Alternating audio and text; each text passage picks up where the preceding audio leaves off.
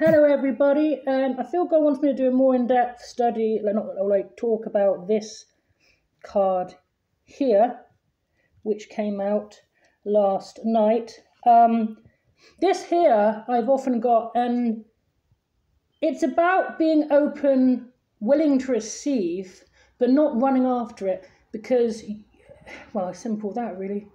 Someone or something is going to give something to you. You're going to be blessed um, by God, but it's like you sometimes you have to be in that receiving kind of energy.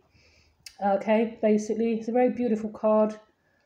Um, but it's about having faith. Is sometimes sitting back, not running around, being stressed, running after things, but just knowing, trusting, being ready to work